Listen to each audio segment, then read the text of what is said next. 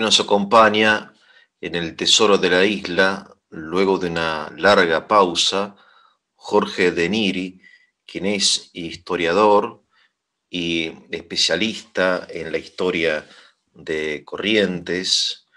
Este, hemos hecho con Jorge hace algunos meses unos programas muy interesantes acerca de la historia argentina, que es apasionante y hay que, hay que conocerla realmente. Y hoy vamos a tratar con Jorge un, tema bastante complicado que no sé si, bueno, Jorge nos dirá si tenemos razón o no los argentinos en cuanto a una comunidad histórica de sentirnos culpables o responsables de, este, de, de, una guerra inútil. Hablo de la guerra del Paraguay. ¿Cómo anda, Jorge? Pero muy bien. Eh, bueno. Yo creo que el tema de sentir, el que se sienta responsable este, es un problema de él. Eso es nada más que una pátina ideológica que ha sido creada eh, adrede, pero la realidad es que no coincide no solamente con, con los hechos históricos, sino que no coincide con eh, la forma como la, la, Argentina a través del tiempo y hasta un momento determinado había que... O sea, vamos a hablarlo concretamente, o sea, el, eh, ¿cómo fue que dijo Alperín Dogui? Escribió un librito que llama El revisionismo como visión decadentista de la historia argentina. O sea, eh, este, eh, este, este, sentimiento de culpa que lo han cultivado los revisionistas, los malos revisionistas. No, no, no, la palabra malos es un poco dura.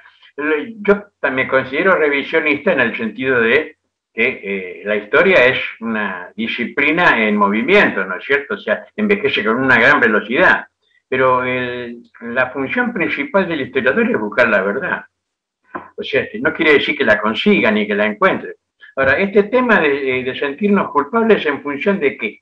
Ya, en el caso de Corrientes, Corrientes fue arrasada por los paraguayos, cosa que los argentinos no saben y que los que escriben sobre estas cosas eluden cuidadosamente. Se han hecho varios libros en los últimos tiempos, yo lo, vi hacerlo al lado mío, al doctor Ramírez Braschi, los años que estuvo haciendo la compulsa de todo lo que los paraguayos destruyeron y se robaron de Corrientes. Este, hasta el piano de Madame Lynch era un piano que fue robado en Bellavista eh, y llevaba Asunción. O sea, los barcos se iban cargados con las cosas que sacaron. Sacaron Santo Tomé, sacaron Yapeyú, sacaron La Cruz, eh, Paso de los Libres, Monte Callero, o sea, este, eh, el peor lugar fue Bellavista, también empedrado, por supuesto, ya que por donde pasaron es como una marabunta. Estoy hablando de Corrientes nomás, no estoy hablando de problema de eh, que arrasaron San Borja también, ¿no es cierto? La, columna que fue por el lado del Uruguay. De manera que, este, eh, como es que dicen, que siembra viento cosecha tempestades.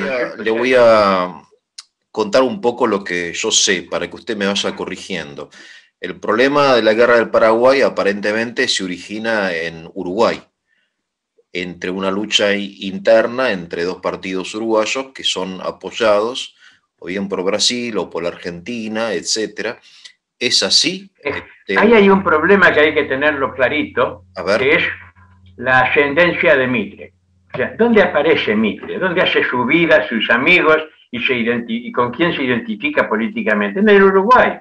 Cuando el Uruguay estaba sitiado por las fuerzas rosistas, este, Mitre es cuando empieza su vida como militar, digamos, y un hombre muy valiente, aunque, eh, digamos, como, como táctico no era nada bueno, ¿no es cierto? Sufrió numerosas este, derrotas, pero eh, eh, primero, la distancia entre Montevideo y Buenos Aires era más corta, por decirlo de alguna forma, que ahora. O sea, los orientales no, eran vistos como extranjeros, inclusive. O sea, todos los grandes soldados del ejército en la época de Mitre son este, uruguayos. Eh, uno de los grandes jefes del ejército durante la guerra del Paraguay, Paunero, el famoso Toro Villegas, eran todos uruguayos. Este, y, o sea que la relación de eh, Mitre con eh, Flores, por ejemplo, que es el, el hombre que maneja el Uruguay, en definitiva, el que logra hacerse con el poder en esa puja entre dos partidos que siempre estaban pidiendo ayuda de afuera, ¿no es cierto? Y por supuesto Brasil entusiasmado se la daba. Pero este, mm, mm, hay que entender también que Mitre tenía comprometida una, sus emociones personales en el problema del Uruguay. No, era, no, era, no, lo veía como un argentino, lo veía como un uruguayo más el tema. Y sus amigos uruguayos lo eran todos para él y para los que eran como él. Kelly Oves, o sea, era difícil distinguir, ¿no es cierto?, entre una familia de eh, la banda oriental y una familia de la banda occidental, por decirlo de alguna forma. O sea, el argentino y el uruguayo en aquella época se sentían más unidos que hoy, más uno, una nación. hay, sí. Toda la vida. Ahora yo pregunto, ¿hay algún país con el que tengamos que sentirnos más unidos que con el Uruguay? Porque yo recuerdo cuando lo tuve a Metol Ferré en unas clases que dio en Posadas, Metol Ferré, el padre del Mercosur, ¿no es cierto? Sí. Eh, un, un uruguayo famosísimo, un hombre con una performance, una personalidad y él, cuando empezó la primera conferencia, dijo, yo soy un oriental argentino, ustedes son argentinos orientales. más clarito que eso hay que echarle agua. Estoy totalmente de acuerdo con eso. Este, bueno, lo habrá dicho para ganarse el auditorio. Y era lo que pensábamos muchos, lo que yo, lo que yo sigo pensando. Yo no, no veo diferencia entre el... O sea, que acá haya gente que no le simpatice el Uruguay ahora, bueno, pero hay gente que vino a otro lado, vino de allá casi cerca del polo, ¿no es cierto? No son de, ni siquiera de Buenos Aires. O sea, ¿quién de, mi, mi abuela, mi suegra era uruguaya. O sea, ¿quién en Buenos Aires no tiene algún amigo o pariente en el Uruguay? Claro. ¿Y cuántos uruguayos viven en, Buenos Aires? O sea, eh, bueno, en esa época la relación era mucho más, más estrecha, más íntima. Eh, ¿A qué quiero ir yo? Me parece que lo primero que hay que definir para entender esa guerra es la personalidad de los actores. ¿Quiénes son los actores? Avancemos. Mitre, pues, Mitre era un hombre que estaba muy ocupado con el, frente interno en la Argentina. Para él fue una sorpresa muy, muy desagradable tener que empezar a eh, descubrir que tenía entre manos una guerra. Eh, el emperador de Brasil era un hombre famoso mundialmente, tenía muchísimo prestigio, como científico, él mismo lo decía, yo soy un científico, me, tocó ser emperador, pero no, no es lo que más me gusta. Y este, un hombre muy prestigioso. Y después estaba Solano López, que era un loco.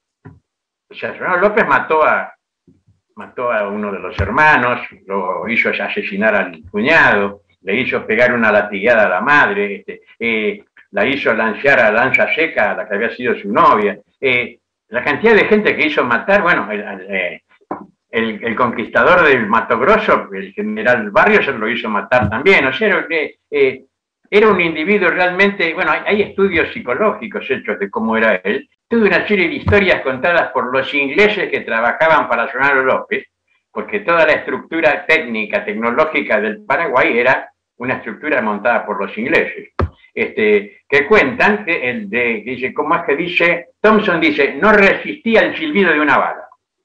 O sea, eh, era miedoso. Se pasó la guerra escondido en Humaitá, ¿eh? bien, mandaba a sus tropas hacia adelante. Sí, Jorge, discúlpeme, porque lo que usted dice un poco no condice con la versión, digamos, marxista de esta guerra, según la cual la autora de esta guerra es Gran Bretaña, que como Paraguay era un, era un gobierno proteccionista, lo que hizo fue... Eso es, una, eso, es una, mentira grande como una casa. Utilizar al Brasil y a Argentina para debilitar... Ahora, si los ingleses estaban... ¿De dónde eran? O sea, ¿dónde mandó a hacer los barcos este, Solano López?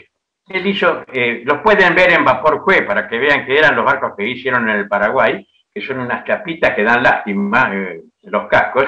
Vapor Cue es un museo al aire libre en el que están algunos barcos, algunos restos de barcos paraguayos de la guerra, que los metieron ahí cuando fue después de la gran derrota de Riachuelo. Este, pero la realidad es que Inglaterra era, un gran proveedor de todos los que tenían cosas para comprarle. Es más, los barcos con los que los brasileños van a terminar derrotándolo a Sonano López eran los que él había encargado en Inglaterra y no pudo ir a retirar por el bloqueo una vez que fue derrotado en Riachuelo. Entonces los brasileños fueron, pagaron lo que faltaba y se quedaron las famosas este, monitores y cañoneras.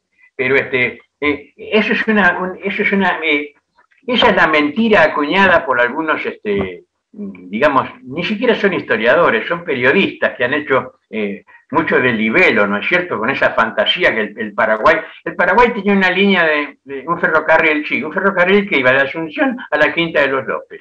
¿Eh? Me, hace acordar, no sé por qué, a Formosa eso. Este, pero eh, sí, pues, eh, tenía un telégrafo, sí, un telégrafo que iba de Asunción a la Quinta de los López, pero le tiraron a Tomaita. Hay fotos del tren estaba el vagón lindo, ¿no es cierto?, para López, y estaba después el tren de los pobres, que eran chatones, donde iban sentados con las patas al aire, porque eran, iban descalzos. O sea que este, había esclavos en el Paraguay y las estancias de la patria estaban llenas de esclavos. Este, después, eh, en la, leyenda del algodón, la realidad es que Inglaterra compraba el algodón en la India. Lo que, lo, que, lo que producía Paraguay no le alcanzaba ni para un fin de semana. Bueno, acerca del algodón, está esta, este personaje que habla en, el canal Encuentro, uno de estos canales eh, del oficialismo, ¿no? No me acuerdo, Feynman, algo así, bueno, una especie como de filósofo, que dice que como el, sur en Estados Unidos había eh, colapsado bajo, bueno, la victoria del norte, Reino Unido no tenía dónde comprar el algodón y entonces abren el mapa del mundo y encuentran al Paraguay. Mentira, eso es absolutamente falso, es cuestión de ver nomás, hacer un, estudio matemático de la cuestión. Paraguay no tenía capacidad para producir.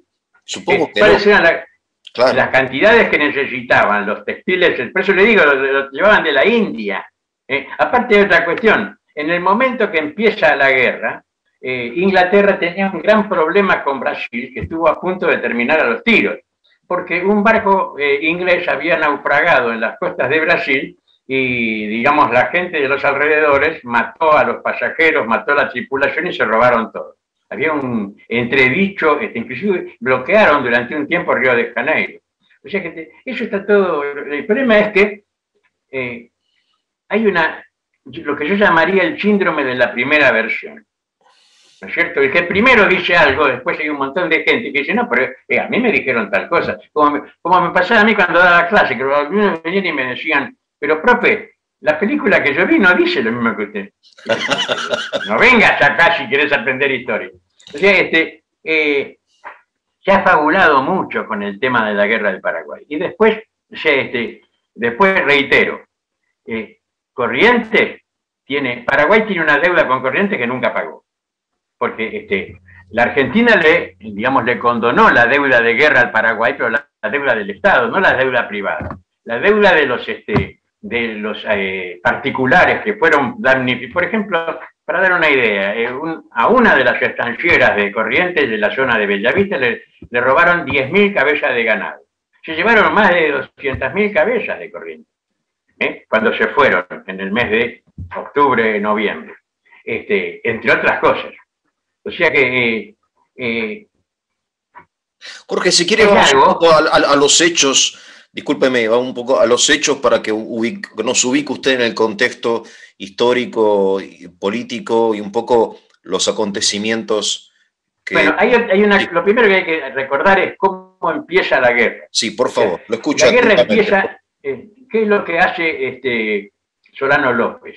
Él ataca por sorpresa al Brasil. Después le declara la guerra. Eso está bien clarito. Invade Mato Grosso. Mato Grosso es una provincia que queda, digamos, hacia, hacia el norte. No tiene nada que ver con el lugar hacia el que él reclamaba defender. Él, se, había, se manifestaba como el adalid del Uruguay, pero lo primero que hace es atacar este, un lugar que le convenía territorialmente a él. Por sorpresa. Este, eh, es más, un barco, ¿no es cierto?, eh, brasileño en el que iba el nuevo gobernador de Amazonas, perdón, de ahí de, ¿cómo se llama?, de la provincia de Mato Grosso, él lo hace perseguir con un barco de guerra, lo captura, lo lleva, lo mete a todos eh, presos, a los que iban en el barco, y, este, y ataca y se apodera de Mato Grosso, eh, por sorpresa. Después ahí también tuve una discusión, que no, que mandó la declaración de guerra, que no la mandó. El antecedente es que la primera actuación de él fue a traición, por decirlo de alguna forma, ¿no es cierto? O sea, los papeles llegaron después de los hechos.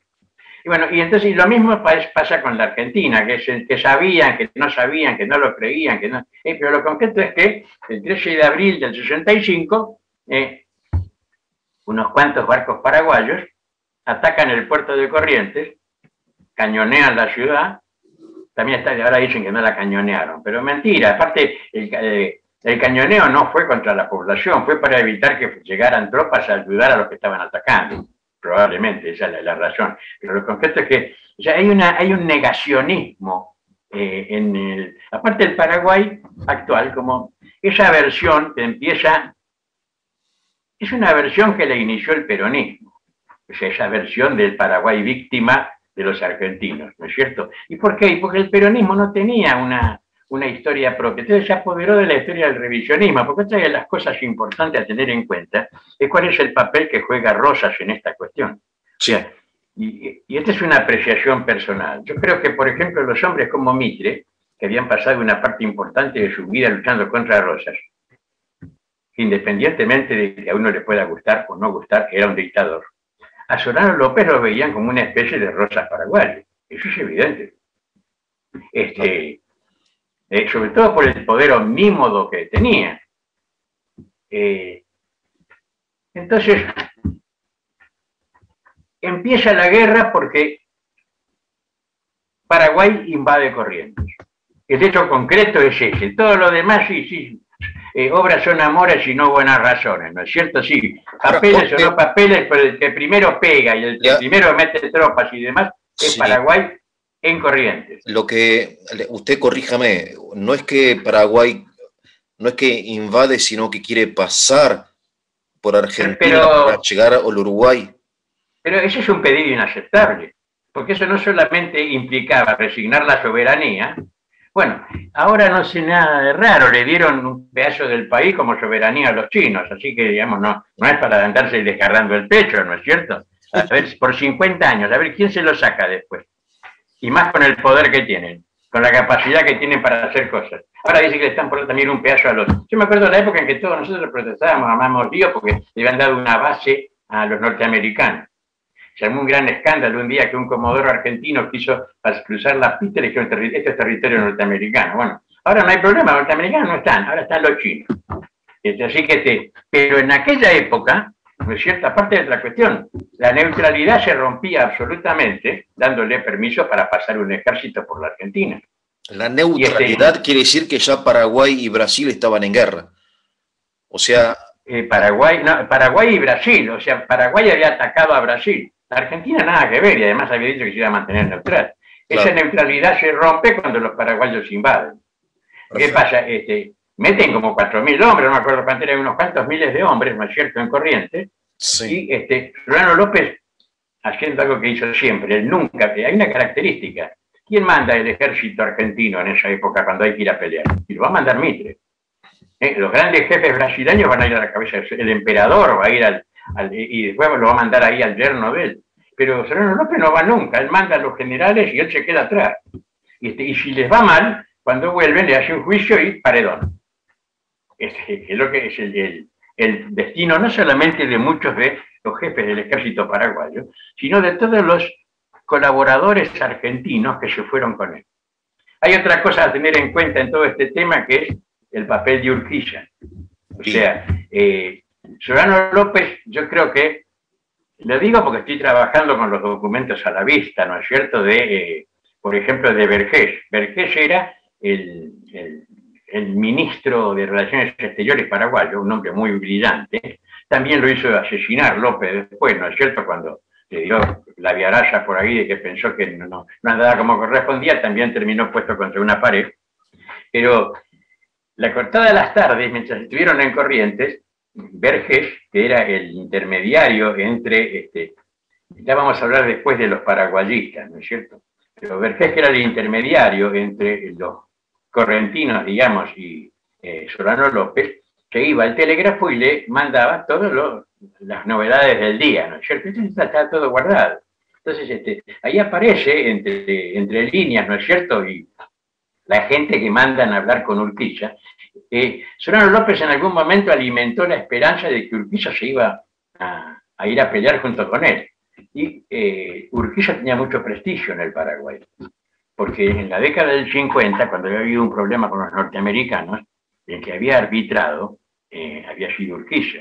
exitosamente, ¿no es cierto? O sea, los norteamericanos, con esa capacidad que tienen para fabricar de la nada un monstruo, habían armado eh, entre gallos y medias noches una tremenda flota que eh, vino a atacar Paraguay. Eh, no pudo pasar de corrientes porque los barcos eran barcos hechos para navegar en el mar y el río estaba abajo, entonces no tuvieron que quedarse, ¿no? un barco logró llegar hasta Asunción. Bueno, la cuestión es que Urquiza hizo de intermediario y un, dato interesante.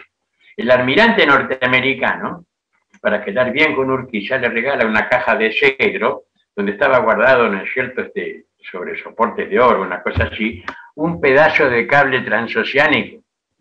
O sea, habían hecho el tendido del cable entre Dover y Boston, creo que. Entonces, eh, eh, es como que yo le regale, ¿no es cierto?, qué sé yo, una pila de radio para que vea, mirá lo que yo tengo y vos no tenés nada parecido. Pero este, le entregó eso como un presente. Pero era porque había logrado, ¿no es cierto?, este, llegar a un, a un arreglo en el cual las dos partes salieron este, más o menos beneficiadas. Y la otra cuestión es que este, Solano López había hecho de árbitro en un momento determinado en un problema eh, interno de la Confederación Argentina, ¿no es cierto?, cuando Buenos Aires estaba separada de, del interior. Eh, o sea que él aparentemente, lo que pasa es que uno no puede, eh, no debe especular respecto a lo que pensaba fulano o mengano. Si lo dijo, bien, pero si no lo dijo, este, en general se piensa que él tenía el, deseo de ser una especie de árbitro de, de Deus Ex Machina, ¿no es cierto?, en América del Sur. Pero aparte, ¿quién era el que estaba preparándose militarmente? Y él tenía ya miles de hombres preparados en Cerro León mucho antes de que empezara la guerra. Como es que dicen civis pasen para Belum, si quieres la paz, prepárate para la guerra. Pero eso es mentira. El que se prepara para la guerra porque está por pelear. Eso de que, como, y vos, vos sos esto, dan de karate, sí, pero nada más que para, porque me gusta, pero no, mentira. Sueña con que algún día él necesite eso para poder este, defenderse o defender a la novia o lo que sea, porque es humano. O sea, un tipo que tiene un auto que da 300 kilómetros por hora y dice, no, yo lo tengo nada más que para pasear por Palermo el auto, la verdad que no lo creo. El primer día que tiene un pedazo de autopista derecho y que nadie lo mira, le encaja patas porque si no, no fabricarían autos que den 300 kilómetros. Y lo mismo pasa con esto. Sereno López estaba, el, único que estaba realmente preparado para empezar una, preparado entre comillas, porque eh, si nos ponemos a hablar de los defectos que tenía el ejército paraguayo, primero empezó la guerra antes de tiempo. No había retirado los barcos que había mandado a hacer en Inglaterra, que le iban a hacer una falta enorme después. O sea, sobre todo porque y aparte, ¿quién era el hijo o el, rico de los contendientes en esa guerra? Brasil. Brasil tenía dinero, tenía dos flotas, no una.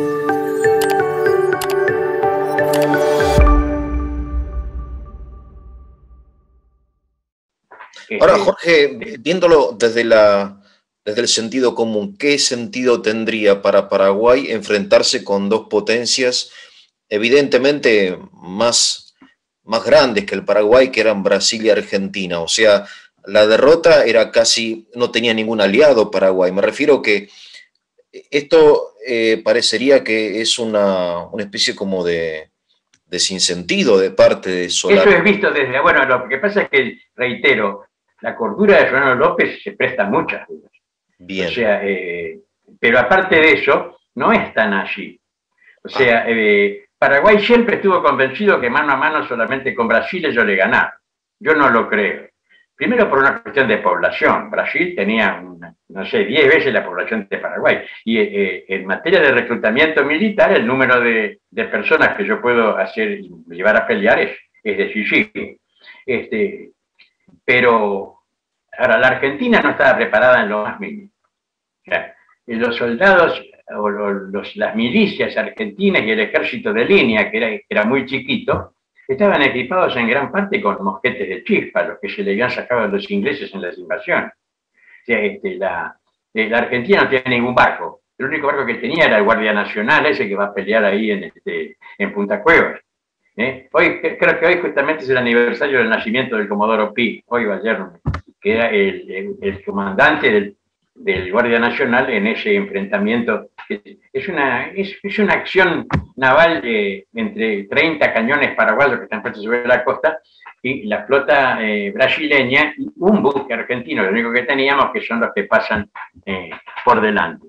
Pero este, Argentina, no, tenía, Argentina no quería ir a la guerra, entiendo yo que... No, porque tenía Argentina, la, la provincia de Buenos Aires y el interior eh, seguían en, digamos, en, este, divididas o apenas reconciliadas.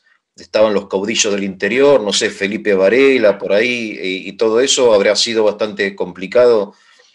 Me refiero al frente interno de la Argentina para meter eh, una guerra con el Paraguay. A menos que hayan tenido problemas fronterizos, entiendo, he leído algo de que había algunos problemas fronterizos que no estaban solucionados, no sé. Eh, con Corrientes Paraguay tuvo problemas siempre. Ajá. O sea, eh, si uno mira ya la época colonial, los problemas entre el Ñembucú, entre Nuestra Señora del Pilar de Ñembucú, Curupaití era un, eh, un, presidio, como se decía en esa época, un fortín correntino, que estaba colocado del otro lado del Paraná para poder avisar con tiempo de las invasiones de los, este, de los bárbaros, de los indios que venían por el río. Eh, la pelea por el Ñembucú este, uno mira las actas capitulares de Corrientes y están permanentemente reclamando porque este, los están agrediendo. O sea, este, la realidad es que, eh, y aparte, históricamente, hasta la guerra del Paraguay, eh, Corrientes llegó siempre la de perder con los paraguayos. O sea, la frontera entre Corrientes y el Paraguay, que era una frontera hecha a punta de lancha y de mosquete, era la tranquera de Loreto. La tranquera de Loreto es un lugar que es donde es más estrecha la distancia entre el Iberá y el río Paraná. Este, tiene un pedazo muy chico, es un lugar que se llama Rincón de Santa María, que queda unos 10 kilómetros después de Ituzaingó en corriente. Sí. Y este, pero la cuestión es que los paraguayos, eh, ¿por qué era la pelea y los enfrentamientos? Sí, por lo que había en la época, ganado y mujeres. O sea, eh, los paraguayos venían, cruzaban, agredían, o sea, no se olvide usted que hasta la guerra del Paraguay, bueno, Paraguay ya había tenido dos dictaduras importantes. Primero la de Gaspar Rodríguez de Francia, que murió en el poder. ¿eh? No me acuerdo cuánto, pero son veinte y pico de años, una cosa así. O sea, el famoso yo el supremo de Roa Bastos, ¿no es cierto? Y, este, y después Añá Tripón, o sea, Diablo Panzudo, como era el sobrenombre del padre de Solano López, era Carlos Antonio López, otro dictador, este, mucho más este, suave, por decir así. Eh, Carlos Antonio López es el que reabre el comercio con Corrientes. Uno de los primeros barcos trae los 70 eh, correntinos que habían quedado en el Paraguay cuando Francia los cerró y los tuvieron ahí no sé cuántos años.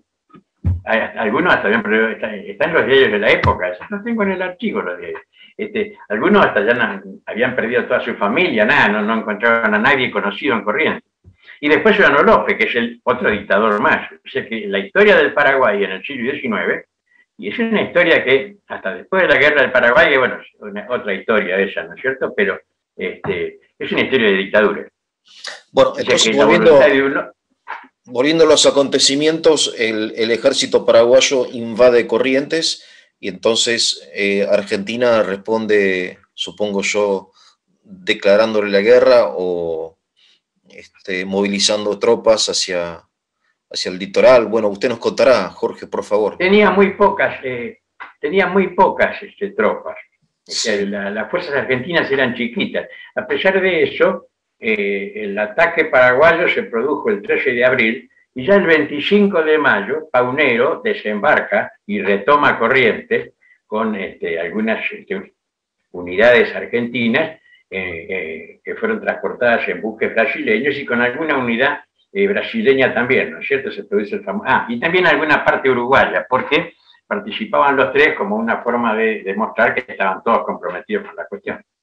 Este, pero, o sea, en realidad el tiempo, el tiempo de reacción a mí me parece bastante reducido. O sea, el poder entrar este, en, combate y, este, apoderarse de la, ciudad. Se quedaron una sola noche y después se fueron.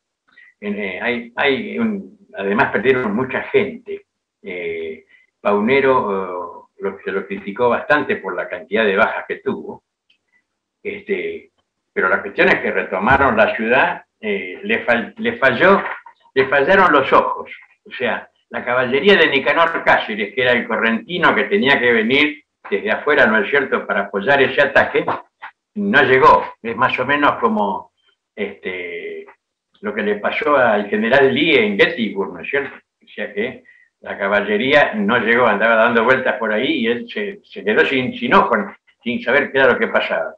Pero la cuestión es que este, esa acción frenó el avance de López, o sea, eh, lo hizo pensar eh, probablemente en retroceder, o sea, hasta donde habían llegado ahí quedaron, y después al poco tiempo se produce, ¿no es cierto?, la caída de Uruguayana, y bueno, ya no tenía otra, otra cosa que hacer que retroceder, cruzar al Paraguay, y ahí empezó, este, digamos, la guerra en el territorio paraguayo, que era un territorio ignorado, o sea, por las características de los gobiernos dictatoriales que había tenido y demás, Paraguay no era un lugar que hubiera, cartografía, no había nada. Inclusive el conflicto con Estados Unidos había sido porque este, la batería que había en, frente del Paso de la Patria, en Itapirú, eh, había cañoneado a un buque mm, hidro, como es, un buque cartográfico norteamericano que se llamaba eh, Chia Beach, la bruja del agua.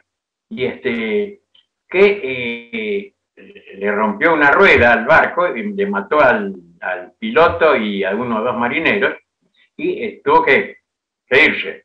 Entonces, eso fue lo que originó que Estados Unidos entrase en una especie de, conflicto, ¿no es cierto?, bélico con el Paraguay. Eso fue en 1850 y pico. Y este, o sea que ya eh, el Paraguay ha estado siempre cerrado para los extranjeros. Eh, Francia había Jorge, entonces el Paraguay retrocede, Argentina avanza, supongo yo que Brasil también, el Paraguay retrocede y entiendo que Mitre pensaba que la guerra iba a durar, no sé, un mes, tres meses, y resulta que duró seis años. Eso, es, no, eso, es una, eso, es, como, todos los discursos de políticos son iguales. Si usted va a, escribir la historia, y, este, y bueno, entonces ya acá la pandemia tiene que haber terminado.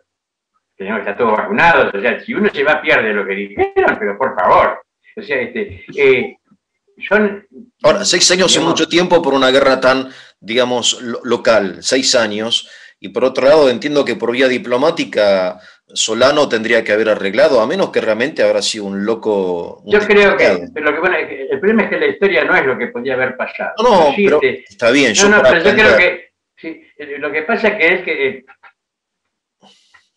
eh, Federico II tenía un ejército y lo quería para pelear, y lo llevó a pelear. Solano López armó un ejército y, este, y evidentemente lo quería llevar para pelear, y eso fue lo que hizo. O sea, eh, si no hubiera, eh, digamos, la negociación es la primera actividad, fenómeno, no hubo en ningún momento, directamente cuando le negaron el permiso para pasar, el tipo atacó. Estaba todo previsto, hay que leer la arenga que él le dirige a los soldados este, cuando los embarcan en, como se llama, en Asunción para eh, atacar Corrientes. O sea, este, yo creo que yo lo veo desde el punto de vista del historiador correntino. O sea, eh, las cuentas de Paraguay con Buenos Aires, allá él. ¿No es cierto? Se podrá discutir o no. Las cuentas de Paraguay con Corrientes y están bien escritas, están bien grabadas a fuego en las cosas que hicieron ¿eh? Y otra cosa interesante, porque los principales saqueadores de Bella Vista son grandes héroes paraguayos, Brugues, el gran artillero, ¿no es cierto? Y Díaz, el héroe de Grupo Haití. Este, ahora dirían, qué sé yo, la obediencia de vida, por eso fue que sacaron. No sé.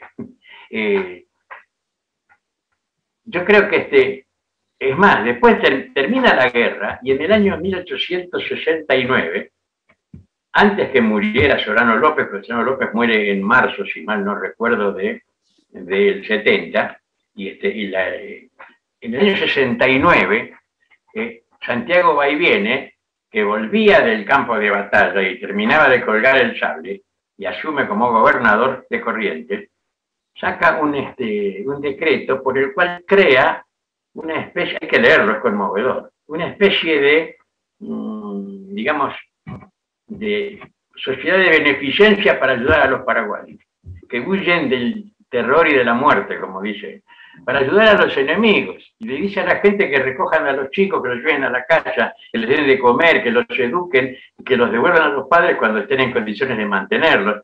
Eh, establece toda una serie de pautas para darle trabajo a esa gente que venía, eh, era como ahora, ¿cómo le llaman ahora? Los migrantes. Bueno, los migrantes en esa época migraron a Corrientes. Los correntinos no terminaba todavía de morir Solano López en Cerro Coray y los correntinos ya los recibieron con los brazos abiertos. ¿Eso lo sabe alguien? No. Porque eso no lo van a decir, obviamente. Claro. Este, bueno, lo dice usted. Eh, lo digo yo, bueno, pero yo, yo no creo, yo que eh, a mí la guerra del Paraguay me interesa como hecho histórico, no como, eh, digamos, bandera política o ideológica. Sí, sí. Y, este, y aparte, Ojo, yo creo que hay que distinguir entre Solano López, están los lopistas que niegan a muerte que fue un cobarde, a pesar de que hasta quiso aprobar una especie de ley por la cual él le pedía la, la legislatura que no arriesgara su vida, que era tan valiosa para el Estado y qué sé yo, pero el que siempre estuvo escondido en una, en una casamata en Humaitá. Pero este, eso hay que separarlo del pueblo paraguayo. Yo personalmente pienso de que el Paraguay es un pueblo heroico, o sea, los ejemplos de de valor que han dado los paraguayos en esa guerra son incontables, de crueldad también, ¿eh? no nos engañemos. Este, eh, ¿Se acuerda de los, los, guaraníes participaron de la guerra? Este, no. ¿No? ¿Qué guaraníes? le pregunto. Eh, los brasileños y los paraguayos tenían aliados indios ¿no es cierto? por lo que tengo entendido ahí en la zona de Mato Grosso. Pero en la guerra no hubo, este, los indios nunca pelearon, primero porque no, era, no, les interesaba. Hay algunos, ah, e, e, ese, ese, cuento chino de que, San Martín le dejó la cordillera para que la cuidaran a los indios, pero por favor, cuando se abrazó con los pehuenches después del loncoteo, le decían a sus oficiales, esperen que me voy a sacar de encima a los ganaderos que me tiraron estos, por las pulgas y los fríos que le habían saltado de la ropa de los pehuenches ahí. Este, por supuesto que les dijo, hermanos, y que sé yo, pero es reitero, las cosas que se dicen políticamente hay que analizarlas políticamente. Bien, vamos un poco a, las principales batallas de, esta guerra. Este, entiendo que de ambos lados hubo pérdidas importantes. Ah, hay cifras que... No, Paraguay perdió todas las batallas, menos Curupaití. Curupaití no. Curupaití, Curupaití es, una, es un problema Primero porque esa es una muestra de lo que sucede cuando no hay un comando único. A ver, el comando era brasileño. ah, no era Mitre. El, mando supremo lo tenía Mitre, pero eh, los brasileños se negaban a cumplir las órdenes de Mitre, se lo Claro. Después, había una pelea muy grande entre el almirante brasileño, que era este, Tamandaré, que eh, había, había una puja grande interna en el Brasil entre los que eran monárquicos y los que eran republicanistas, ya en esa época. Claro, claro. Este, eh, y eh, el, uno de los jefes brasileños y el almirante eran parientes, inclusive. Entonces, aparte, eh, parece que los almirantes, los, los, marinos brasileños no estaban muy entusiasmados en pelear. Pero aquellos de corriente de aquella época le sacan tiras al almirante Barroso, quejándose de que no hace nada, de que está quieto que deje que los paraguayos hagan lo que les parezca. Eh, es un tema que creo que no está todavía suficientemente resuelto. Pero la cuestión es que eh, le dieron tiempo a Solano López para prepararse, porque eh, hay gente que dice que la entrevista que hubo previamente en la Teitícora es una entrevista que le hizo López no con la intención de llegar a un arreglo, sino de ganar tiempo para poder terminar de cavar las trincheras de Grupay y colocar los abatíes y demás. Eh, si es así o no, no sé, pero se demoró como 15 días. Y, este, y por supuesto ahora estaban, como habían venido la guerra desde el punto de vista militar, yo diría que Paraguay perdió sus últimas posibilidades, primero con Riachuelo en junio. Y ahí es donde empieza la bronca de Solano López con los correntinos. Pero hasta ese momento ella había coqueteado es cierto? Ahí donde se llevan las famosas cautivas y todo eso. Pero después de Riachuelo, cuando él se da cuenta de que los correntinos no se van a ir en masa a pelear junto con él ni nada por el estilo, eh, ahí es donde se empieza ajustar las clavicas, empiezan en serio los saqueos y demás. Eh, pero después el segundo momento es, bueno, una vez que perdió, Uruguayana perdió un ejército. El ejército que le había mandado por eh, la banda de Uruguay desapareció. Este, ya tenía muy pocas posibilidades de nada. Y después la batalla en la cual pierde toda su caballería, que es este, que es la batalla más sangrienta, ¿no es cierto?, de, eh, la historia de América del Sur, eh, por la cantidad de pérdidas de todos. Este, a los paraguayos les costó prácticamente su mejor tropa y su caballería, que era donde iban los, los que se consideraban los, más fuertes, los mejores. Así que este, ahí ya estaba la guerra terminada. Eh, pero la siguió arrastrando. el, el problema de Giovanni López es de todos los dictadores. El identificar al país con ellos mismos. Claro. Que, eh, cuando dicen muero con mi patria, dicen que dijo cuando estaba muriendo. Y este, o sea, como que la patria, la patria era él, ¿no es cierto? Él creía que el Paraguay se iba a morir junto con él, una cosa así, no sé. Pero este, las veces que le dijeron que la guerra se hacía, que él pues, tenía que irse, eh, y que lo dejaban irse con plata, y qué sé yo, y dijo que no, por supuesto. Claro. Este, eh, Claro. Yo no sé. Acerca, de, las, la cantidad de, bajas que hubo en esta guerra, he, leído cosas realmente muy, muy, muy contradictorias, ¿no? Siempre son números altos, pero algunos hablan, no sé, de cosas realmente para mí disparatada por, por, lo que estamos hablando, ¿no? De un millón de bajas, cosas así. No, no, no, no, no, no creo. Un millón.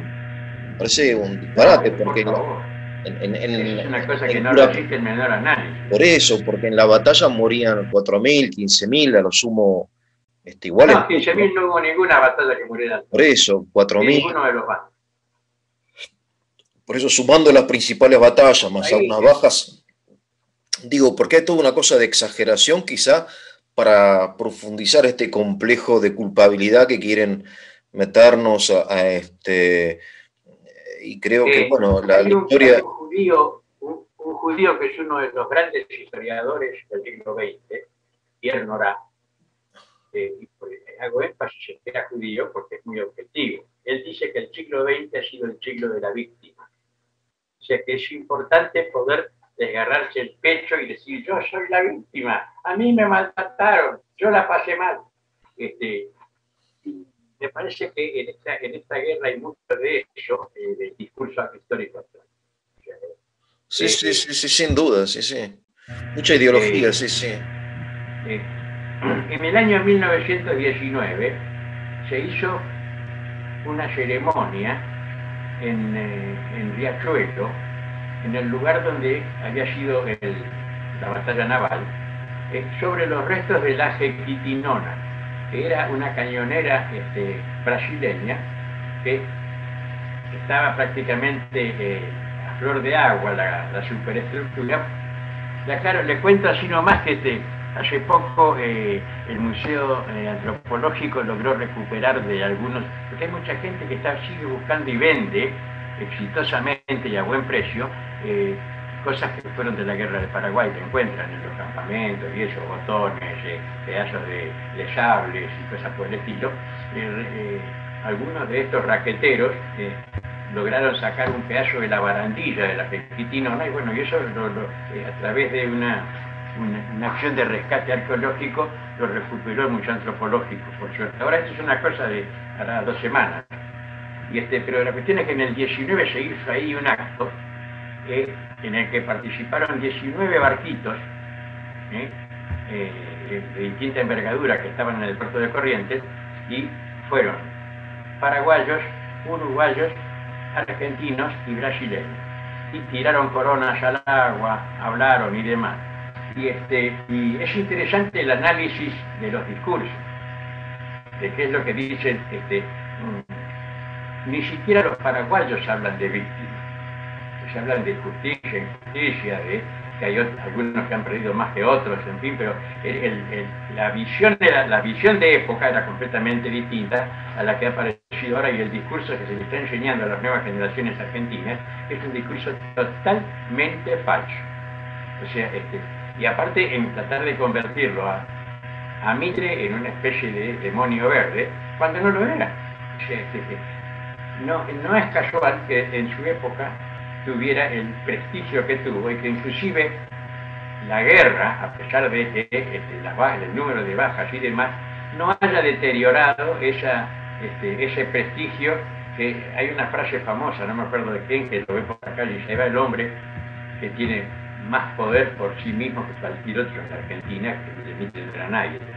Este, y después, eh, lo que pasa es que lo han elegido como bestia negra él, como lo han elegido como bestia negra roja, era un ministro. Cuando hizo la famosa conquista del desierto era simplemente un ministro. Eh, los brasileños dicen que esa conquista se hizo al paso del caballo y tiraron un tiro, quiero decir los chilenos. Que es más o menos cierto. Que, fíjese, dígame el nombre de una batalla de la conquista del desierto. ¿A qué no? ¿Sabe por qué no me puede decir ninguno? Porque no hubo. ¿eh? Todo lo que hubo fue la famosa retreta esa cuando se perdieron.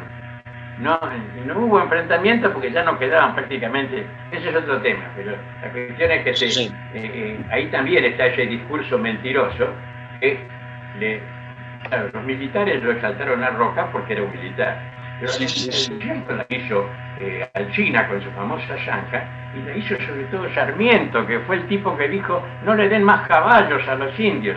Nadie puede hacer un malón montado sobre una vaca, denle vaca, son más caras, pero es, mejor. ¿Y eso quién lo dice? Sí, este, a ver, eh, le hago una pregunta, Jorge.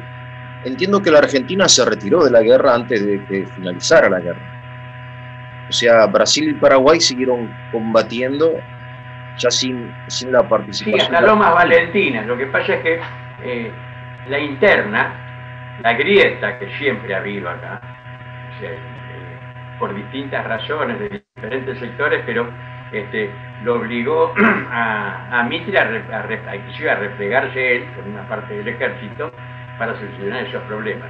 Quedaron argentinos, no obstante, dentro de lo que era, pero encuadrados dentro de, este, de las fuerzas brasileñas. Y, este, y no, digamos, creo que la última acción importante en la que participaron fue en Loma Valentín.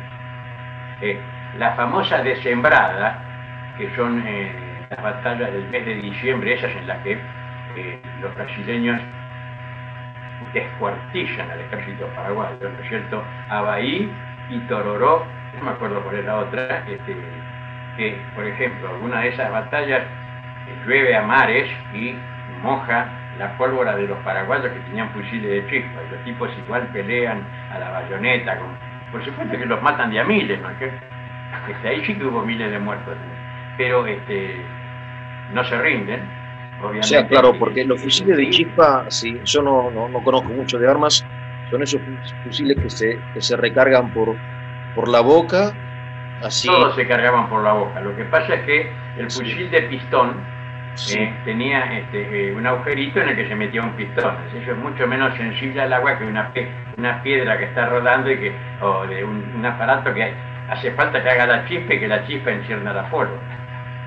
Es una, cosa mucho más rudimentaria, mucho más fácil que falles. Es, es eso, es como comparar un rayo láser con una escopeta eh, O sea, en 1860 este, aún no existían los, rifles que uno ve en... Sí, ya había. Inclusive ya había, había este, eh, algunos Spencer participa. Spencer son esos rifles que se cargaban por atrás.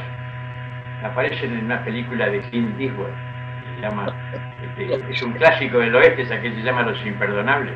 Ah, no la conozco. empieza imperdible. Así. Empieza a meter por la culata los proyectiles. Fue la primera de esas armas y iban abajo del caño, ¿no es cierto? Claro. Varios de esas armas las proveía, las proveía quien no, no se fabricaban en Sudamérica, obviamente, eran armas... Eh, no, eran, eran muy caras.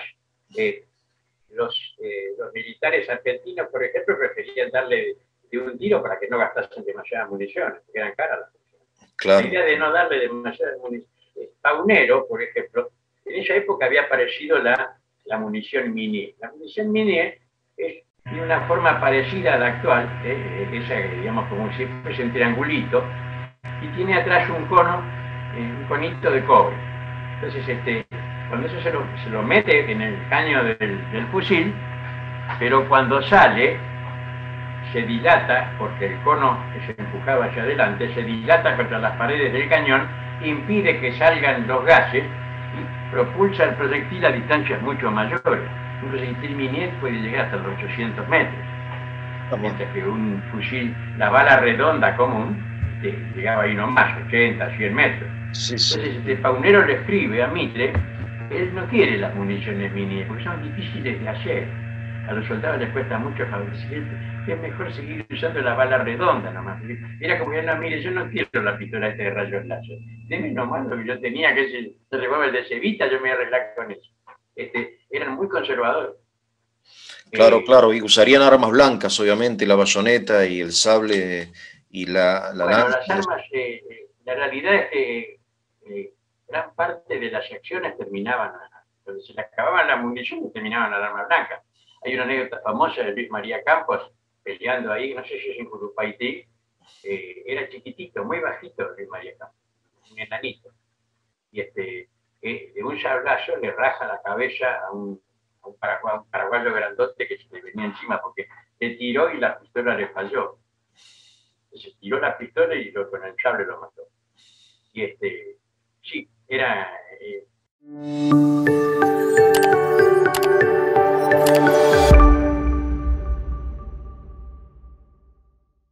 Otro mito que habría que desmontar es la, leyenda esa de los brasileños cobardes. Eso es mentira.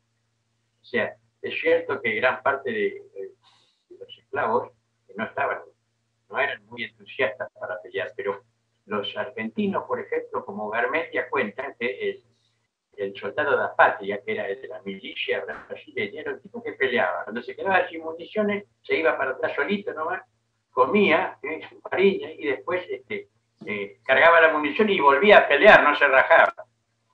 Y este, lo mismo hay una anécdota de un, oficial brasileño que un proyectil le saca una pierna en, el suelo. Y cuando lo están por operar le quieren dar cloroformo y dijo, no, solamente quiero un cigarro.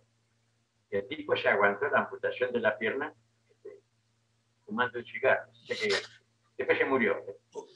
Usted, que es correntino, me dirá, la, guerra del Paraguay está muy presente en la memoria del, este, de los paraguayos y del... De... Los paraguayos sí, porque ellos hablan de guerra grande. O sea, eh, le explico lo de guerra grande. Para Paraguay, ¿qué pasó durante la Revolución de Mayo? Después de la expedición de Belgrano al Paraguay, Paraguay se fue sobre sí mismo, no le dio bola a nadie y no salió hasta que Carlos Antonio López se cargo del poder. O sea que los veintipico de años que el Río de la Plata y América del Sur lucharon para emanciparse, los paraguayos eh, graciosamente y desde lejos aprovecharon para consolidar su propia independencia, sin tirar un tiro, sin pegar un sablazo. para ellos esa guerra que duró cuatro años, es la guerra, claro como no a ser grande, fue la más grande que pelearon. o sea, en Paraguay no hubo guerra de independencia en Paraguay. No. hubo una guerra de independencia similar a la que tuvimos en Argentina. No, para nada. No, hizo falta, la peleamos nosotros. Pero no había presencia española en el Paraguay, en Asunción, era de todas formas más importante históricamente que, Buenos Aires, entiendo, ¿no? Asunción, digo. No, no era. No, eh, Paraguay ya había quedado atrás. Ah. Cuando se, eh, eh, había quedado fuera, este, dejó de ser la madre de ciudades, más que desde el punto de vista testimonial, pero no, el comercio pasaba por Buenos Aires. Supongo que la supresión de la Compañía de Jesús también influyó mucho en la, en la decadencia del Paraguay en, aquella época. La Compañía de Jesús fue suprimida, entiendo, a finales del siglo XVIII y, era toda una república. Este, ¿No? no, eh, Los peores enemigos de los jesuitas eran los correntinos, los asunceños ¿Por qué? Y porque a los jesuitas les iba bien y a los correntinos les iba mal. Este, eh, los correntinos y los paraguayos este, nunca se dieron cuenta de que la prosperidad de las misiones era producto del trabajo, no producto de... O sea, aparte había problemas, tenían, las misiones tenían, qué sé yo, gente como un sacerdote que era un tipo que era el tercer astrónomo del mundo, el cuarto este, eh, matemáticos, que yo como era este, este que está encerrado en la cruz. Sí, sí, eh, músicos. Arquitectos, sí. No digo músicos importantes. Seguramente usted la vio en La Misión. Sí, sí, claro. Sí, sí, bueno, eh, es exagera. En, las reducciones había un sacerdote, a lo sumo dos, manejaban miles de indios. Sí, sí. Este, pero, eh, por ejemplo, el Yapeyú. ¿Por qué San Martín pide soldados, pide gente del Yapeyú? Porque eran los mejores jinetes. Yapeyú era la misión que se encargaba de cuidar los ganados de los jesuitas, especialmente de la famosa vaquería del mar que estaba en la banda oriental. Cuando los portugueses se apoderan de la, batería, la vaquería del mar, ahí empiezan los problemas de los yapeolganos con los correntinos, porque empiezan a cuartelear ganado dentro de lo que Corrientes consideraba que era su territorio. Pero este, no, el tema de la, eh, eh, los jesuitas no eran queridos por los encomenderos paraguayos ni por los encomenderos correntinos, por supuesto. Los famosos comuneros eran los enemigos de los jesuitas porque esclavizaban a los indígenas. Los jesuitas protegían a los indios. Claro. O sea, eh, no, permitían además que los, los, españoles fueran a vivir y menos a comerciar porque ya que los, los estafaban a los indios. Hay que leer las cosas que escribe San Roque González, el santo del Paraguay. Sí, sí, sí.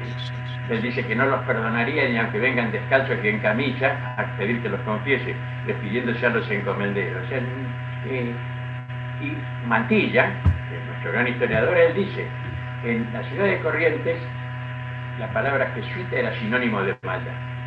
¿De qué? de maldad. De maldad. Eso lo escribe él en su crónica, así que no hay cuenta de hoja. Mire usted. No eran no eran, no eran populares el estilo, al contrario. A pesar de que a los correntinos les venían bien porque tenían un colegio en el que educaban. Claro, claro. Era una cosa que hacía falta. A ver, un poco, Jorge, para entender un poco, parecería que la, la guerra del Paraguay se centra o tiene una causa fundamental que es eh, Solano López y su personalidad, digamos, este, de dictador, desquiciado, psicópata, y que todo concurre finalmente en esta persona y que todo lo demás me da la impresión que es como que simplista de todas formas esto, porque obviamente me da la impresión de que es como una explicación simplista de la cosa, de que, bueno, este, es tan simplista como decir que en Formosa se hace lo que cuando, claro, cuando una, cuando una, una voluntad es tan poderosa como para imponerse ya, a como de lugar sobre todas las demás, y si es simplista, es uno solo, es evidente. Y en, y en el caso del Paraguay, cuando uno lo lee a Roa Bastos contra de yo el Supremo, Francia obligaba, por ejemplo, a todos los paraguayos a Supremo. Y por aquí dice que era porque tenían que sacárselo para saludar subordinado de, digamos, un acondicionamiento social. Y este, Caraí Guazú, o sea, el gran señor, este, sí, es simplista cuando si uno considera que era un hombre igual que los demás, pero era un tipo que estaba absolutamente por encima del resto. Eh, no perdonó, no dejó títere con cabeza. Hay, una, hay unos médicos argentinos que han escrito el año pasado en una revista, hicieron un estudio, eh, digamos, caracteriológico de John López, y es alarmante. O sea, aparte, creo que, por ejemplo, me parece que es una. Eh, eh, los paraguayos cuando uno dice, no, pero era cobarde. No, no era así, él, él, mandaba de atrás. Para la época eso era imperdonable. Claro. Lo asombroso era que sus hombres lo siguieran lo mismo, a pesar de que él este, no estuviera en primera fila con él. Pero este, cuando dice, pero mira, lo mató al cuñado, lo mató al hermano, este, mató a todas las personas. De los correntinos que se fueron con él, prácticamente se salvó uno solo, que era Víctor Silvero, que era un hombre muy habilidoso. O sea, eh, los paraguayos habían creado una junta gubernativa en Corrientes. Integraban tres correntinos. Esos tres correntinos, dos fueron asesinados por Solano López. Otro de los que se fueron con él, Cayetano Virasoro, hermano de los Virasoro, que era la gente de Urquilla. Cayetano Virasoro se fue con él y terminó muriendo de hambre encerrado en un calabozo de Maipú. Exacto. Pagaba muy mal a la, a la, gente que lo servía. Ahora, después de la, de la, guerra, ¿qué es lo que pasa? El, digamos, hay compensaciones de guerra, Argentina y Brasil extienden su territorio. Este... No, la Argentina no pidió ni un metro más de lo que venía eh, discutiendo con... Primero que vamos a, vamos a una parte. Sí. ¿Qué era lo que le correspondía a Paraguay? El Chaco. El único lugar del Chaco en el que Paraguay puso un pie era en lo que se llamaba la Villa Occidental. Era un lugar fundado, una colonia que había fundado Carlos Antonio López con el nombre de este, Nueva Burdeos porque la poblaron franceses. Mire. Está, eh, digamos, en desempilada enfrente de Asunción. Interesante. Eh, ahora se llama Villa Ayes, porque como la Argentina se tiene un arbitraje este, y lo perdió, se lo devolvió al Paraguay. Pero eh, la Nueva Burdeos ella, digamos, del fondo de la casa, del último de Nueva Burdeos para el otro lado, estaba el Chaco salvaje poblado por los indios. No entraba nadie, menos los paraguayos. Está escrito en todos lados. Ahora, lo interesante es que un día Serrano López se paró en la costa y le dijo a Madame Lynch, mira querida, todo esto que hay enfrente es tuyo, te lo regalo. Hizo que un juez hiciera un acta certificando que él le donaba no sé cuántas leguas de, tierra. Ahí yo encontré en el archivo un caso de la Corte Suprema de Justicia sobre las tierras de Madame. Un mapa y todo, ¿no es cierto?, de qué era lo... los los que poblaban en, lo que ahora es Formosa, ¿no es cierto? Este, en esa zona, limítrofe con el Paraguay, tenían atada permanentemente la canoa cerca de la casa para rajar si venían los indios. Los paraguayos nunca entraron al Chaco, estaban en el borde, o sea, venía alguien navegando desde, pongámosle, desde embarcación en Salta, como pasó, una expedición que intentaba navegar el Bermejo, llegaron a la altura de Curupaití adentro y presos. Le sacaban todo lo que llevaban, se lo pagaban al precio que Francia quería y lo echaban. Y este, o sea que eh, una, frontera muy custodiada, lo mismo, lo que ahora es este, Encarnación, eh, era una localidad del Paraguay que era la única que tenía un contacto con lo que ahora se llama Posada. Se llamaba Trinchera de San José. Era un lugar en el cual podían comerciar, porque ¿qué pasa? Buenos Aires le cerró el río a Paraguay. Entonces Francia dejó poder los barcos en el puerto y estableció una ruta de entrada y salida de mercaderías al Paraguay que iba de San Borja, ¿no es cierto?, hasta la trinchera de San José. Sí. Y este, el jefe de la Guardia Paraguaya en Encarnación era el tipo que aseguraba, pero nadie podía entrar al Paraguay. Entonces, este, inclusive él hizo limpiar el territorio, o sea, entre los brasileños y los paraguayos terminaron de liquidar los restos de lo que quedaba de, los indios de las misiones. Quedaron en el monte, los que ahora dicen que son guaraníes, no, son de, etnia india, que eran gente que no, no, es, no es oriunda ni siquiera de la Argentina, vinieron desde Paraguay. pero lo que pasa es que si usted habla con un misionero, él va a decir que esos son de son guaraníes, toda esa historia de, de claro, están tratando de construirse una historia, ¿no es cierto? Una historia de una provincia que tiene 50 años, que fue creada por ley. Y, este, este, esa historia, una parte importante que necesitan, si pueden, recuperar, es la que, digamos, Misiones estuvo bajo el, dominio de corriente. Pero este, la realidad es que cuanto más se macanee sobre este tema de la guerra del Paraguay, vamos a terminar. Yo creo que si seguimos por donde vamos, la Patagonia se la van a regalar a los mapuches Formosa se la van a regalar a los paraguayos. No digo devolverla porque nunca fue de ellos. Es la triste realidad. Este, no recuerdan tampoco la tremenda mano que les dimos, que Bolivia siempre se ha manifestado desencantada, porque cuando la guerra con el Paraguay de los bolivianos, nosotros apoyamos irrestrictamente a Paraguay. Este, año 1932 las armas pasaban por el puerto de Buenos Aires y directamente iban por el río y después hasta el ferrocarril de Carlos Callado, era el que terminaba ahí en, Bahía Negra, ¿no es cierto? Que era el trencito que llevaba eh, a los paraguayos hacia el medio del Chaco para pelear. O sea que, pero, o sea, otra cosa que vale la pena señalar, Costa Ñu, ¿no es cierto? La batalla de los niños. ¿quién tenía poder suficiente en Paraguay para disfrazar tres o cuatro mil chicos y meterlos para que frenaran a los brasileños? ¿Quién? Si no era Solano López. ¿Y por qué? Y para, para ganar tiempo. Mientras los chicos peleaban, él podía seguir retrocediendo. Claro, no, no puede decir, bueno, pero es cuestión de usar la lógica. ¿Quién tenía suficiente poder como para disfrazar eh, y poner para con armas en la mano a un montón de chicos para que trataran de parar a los brasileños? Y, este, después otra cosa que es importante que uno lee lo que escriben los brasileños y este, los, soldados brasileños de aquella época y, este, y además lo compara con lo que ha pasado después de otras guerras la última etapa de todas las guerras es una etapa cruenta, porque los soldados se han acostumbrado a matar y matan por nada. Claro, claro. Este, eh, yo me acuerdo un, compañero mío de secundaria que era yugoslavo y el padre había sido uno de los este, guerrilleros de Tito.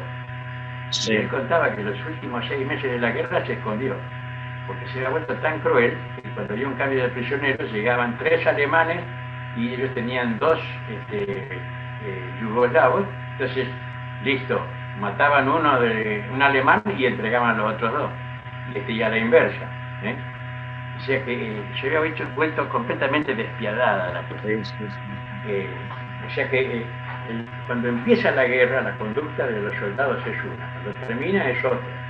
Y después, este, los, los paraguayos no se caracterizaban precisamente por digamos, por ser nenes de teta y nada por el estilo. ¿Se acuerda de Gaspar Campos? ¿Se acuerda del nombre de Gaspar Campos? Que es la casa en la que para Perón, la calle Gaspar Campos. Bueno, Gaspar Campos era un argentino que cayó prisionero de los paraguayos y murió torturado este, y muerto de hambre. O sea, es uno de los que murieron así. O sea que, eh, claro, las guerras son todas terribles Sí, sí, sí, es, es, lo que usted dice para reflexionar mucho, la verdad que, este, creo, a ver, usted dimiéntame, porque yo soy... Alberdi estaba en contra de la guerra, entiendo, ¿no? Este. Alberdi, yo personalmente creo que Alberdi primero se pasó 25 años en París, después que rajó de Montevideo, disfrazado de molinero francés, mientras los demás se quedaron a pelear contra Rosas, él disparó se consiguió un disfraz de marinero y se fue a vivir en Yo le pregunté otra cosa, no le pregunté si... No, no, no, pero este, sí, no, eh, lo, que le quiero decir es cuánto vale lo que dice Alberti. Bueno, y además lo dijo en una época en que los que estaban contra él eran figuras del relieve de Rauchon, Sarmiento, Mitre. Alberti era un don nadie. Se, se ofendió muchísimo con Mitre, que se negó a permitir que el Congreso le publicara gratuitamente todas sus obras. O sea que, este, eh, aparte, él escribe desde París y después. Pero discúlpeme, un don nadie que había redactado la Constitución o el proyecto de Constitución Nacional. O, No, no, eh, la Constitución, eh, él tomó el esbozo de Freitas. Bueno, pero. Era que estudia constitucional, sabe eso, y, este, y escribió. Era, pero, era un plumífero en una época de guerrero. un plumífero en una, época, de... guerrero. A Sarmiento nada le produjo más placer que que le dieran el grado de general. Porque lo que pasa es que en, una época en la que todo se ha hecho a sablazos, los que tenían prestigio eran los que tenían sable. Entonces, un tipo como Mitre, que compensaba, el, era un plumífero también, un gran plumífero, pero este, lo compensaba con su trayectoria de soldado. Eh, Sarmiento no paró hasta que lo hicieron general. ¿Conoce la anécdota de él disfrazado con un uniforme andando a caballo por el fondo de la casa? No, no lo conozco. Cuéntemela, por favor. El loco, el, loco Sarmiento. Y este, no consiguió, cuando lo mandaron, eh, no consiguió más que el grado de teniente coronel cuando lo mandaron a San Juan, cuando quiso matar al, que era el gobernador, después toda esa historia, ¿no es cierto? Que lo matan a uno, que lo matan al otro, cuando lo matan a Virasoro, ese ascenso de Virasoro, que lo asesinan junto con eh, algunos de los que estaban con él, que él estaba como, como gobernador. Este, pero eh, Alberti, Alberti, primero que vino acá mucho después de la guerra, aparte, eh, usarlo Alberti para justificar la guerra de Paraguay. No, no, no. A ver, este, yo reflexiono nada más acerca de En fin. Claro, si yo le tengo bronca a Mitre, voy a aprovecharlo al Alberti, porque Alberti lo odiaba a Mitre. Había, claro. Tenía motivo.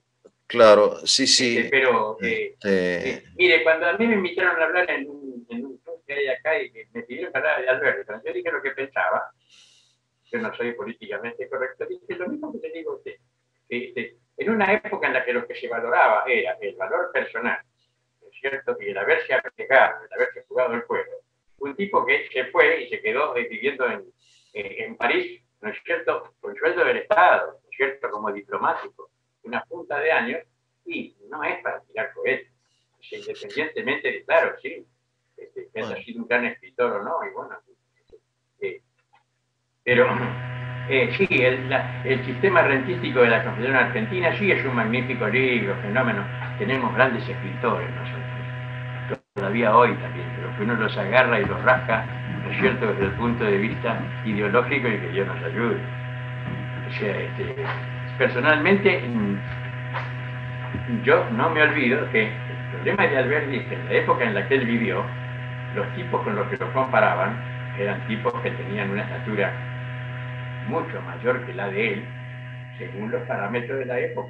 Sí, sí, entiendo, entiendo y entiendo la, la posición de la Argentina y por qué Argentina entra en guerra contra el Paraguay, porque el Paraguay, gobernado por este psicópata, invade el territorio argentino y la respuesta obviamente es, este, es bélica, ¿no? Más allá, los acontecimientos se nos escapan de la mano, en el sentido de que uno sabe cómo empieza, no sabe cómo termina una guerra siempre, como usted dice, este, dicen, bueno, esta guerra, como la Primera Guerra Mundial también, iban de paseo y, quedaron ahí en las trincheras años.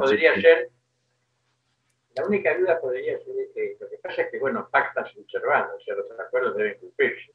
El acuerdo que se había firmado era seguir la guerra hasta tanto este, Solano López tuviera que dejar el poder. Pero una vez que se había recuperado el territorio argentino, el interés el interés argentino en la guerra era otro, evidentemente. Y ahí hay que aclarar de que la guerra se siguió hasta las últimas consecuencias a instancias del emperador de Brasil. Ahí está, claro, bueno, a eso me refiero, eso me parece, es una aclaración importante, porque Argentina, habiendo recuperado su territorio y habiendo echado a los paraguayos, como bueno, como corresponde, yo tengo muchos amigos paraguayos, este, y, no, no tengo, pero, bueno, hasta ahí, pero claro, había una alianza, por eso la llaman de la triple alianza. ¿eh? Mis ¿Eh? amigos no son lopistas.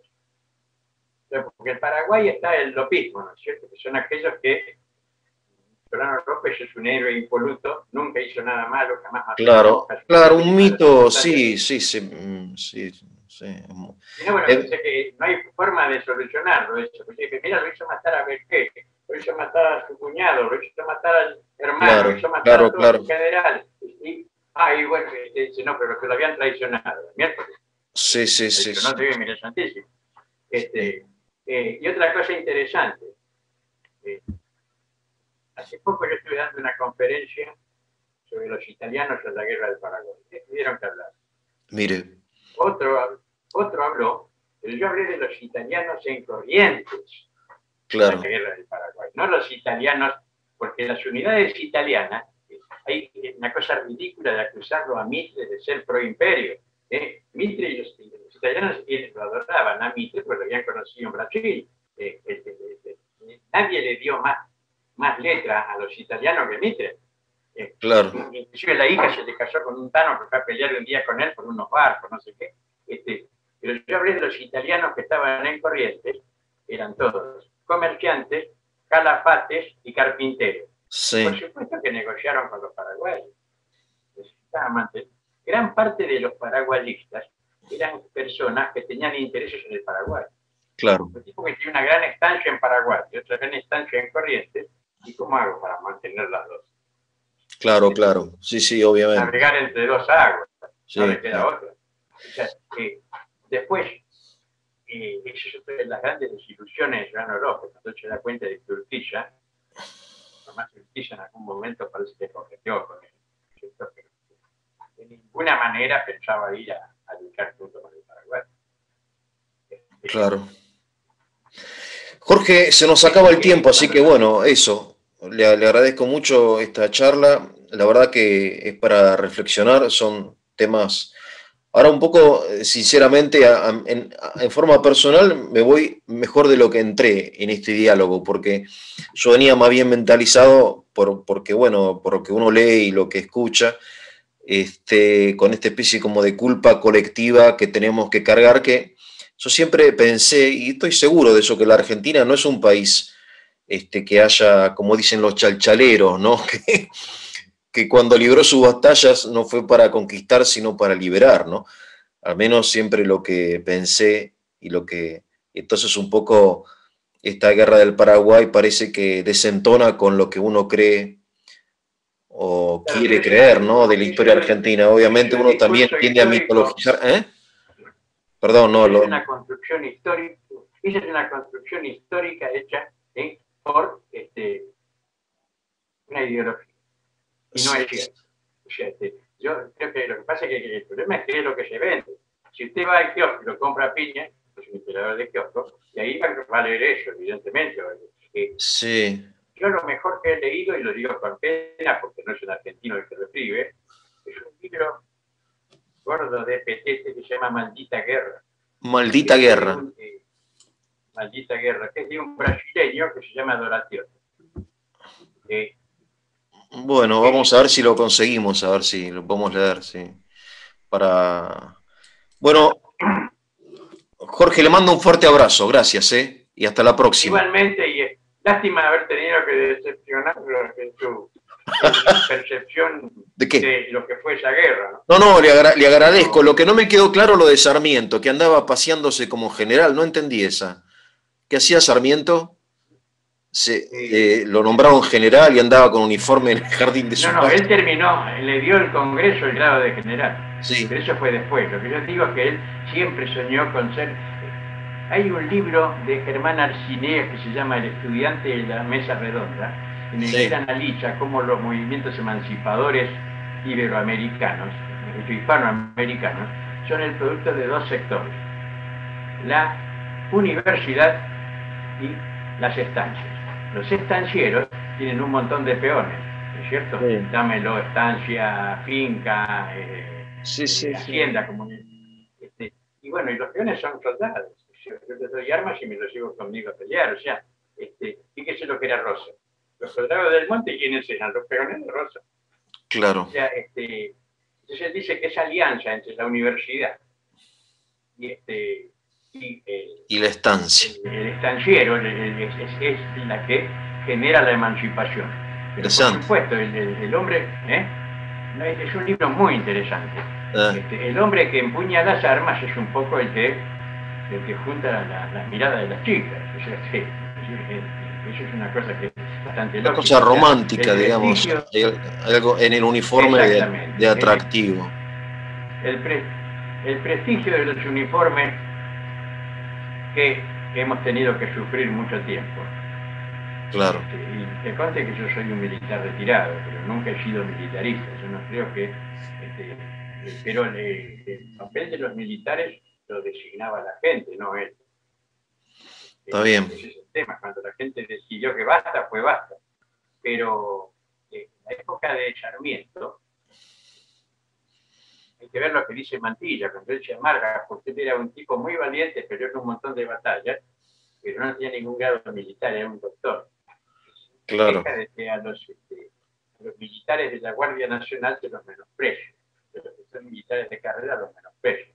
Claro, claro. historia también, Sí, sí, como hasta el día de hoy. Sí. Un pasado, eh, un país con un pasado militar tan denso como el nuestro, no es sorprendente que, este, digamos, tuvieran un prestigio sobrepreciado o sobrevaluado. Sí, sí, sí, obviamente. Que duraran el tiempo más de lo necesario. Jorge, le mando un abrazo, gracias. Hasta luego. Igualmente.